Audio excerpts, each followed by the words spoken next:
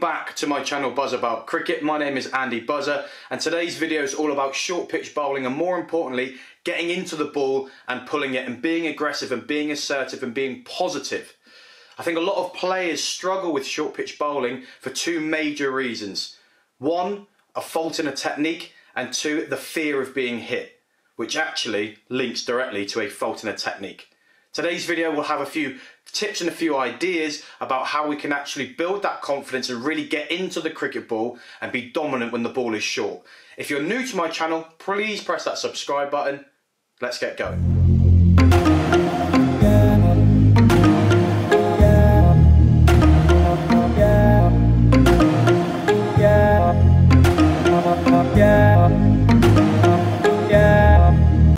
Things that I talk about a lot to batters when we are approaching uh, the ball being short is ensuring that there is no timeline, there's no rush to get across a good technique and really being in control of a pull shot.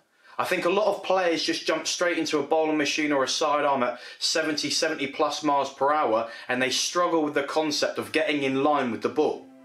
So the first thing I want you to do is simply have some underarm feeds and really focus about keeping your head nice and still and freeing up your hands. The major point when it comes to pulling is that full extension with your bottom hand and we're focusing more on the contact at this point than anything else. When your hands are free and when your head is nice and still, you're going to be able to access the ball so much more, so much better that you're going to be getting a cleaner strike.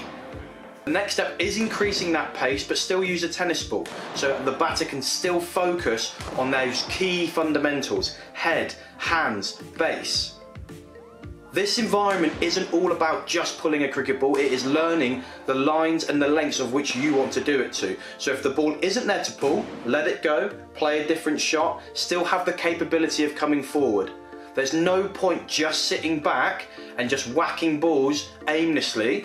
Really focus on what your body's doing and what your head and your hands are doing and where they like to be going through the ball. Start really thinking about where you're making contact with the ball. Are you extending that bottom hand out towards the ball? Are you playing it underneath your eye line?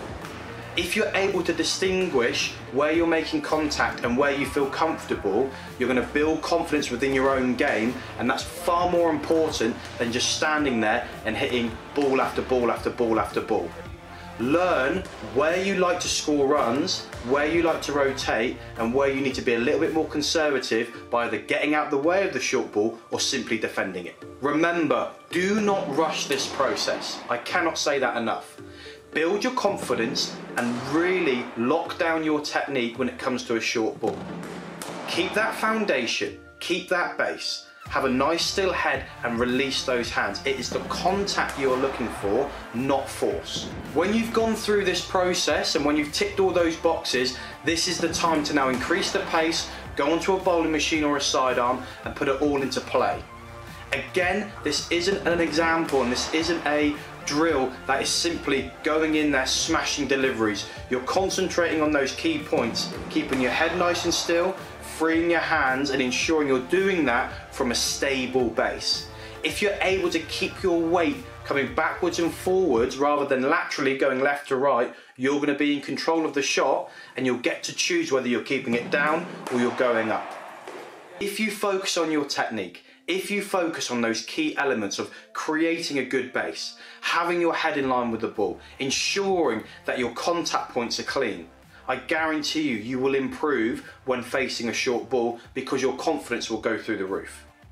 This isn't uh, an idea of how hard I can hit the ball. This isn't a concept of oh, I'm the big man because I can take on the fast bowler. Drop your ego and just allow yourself to learn the skill properly.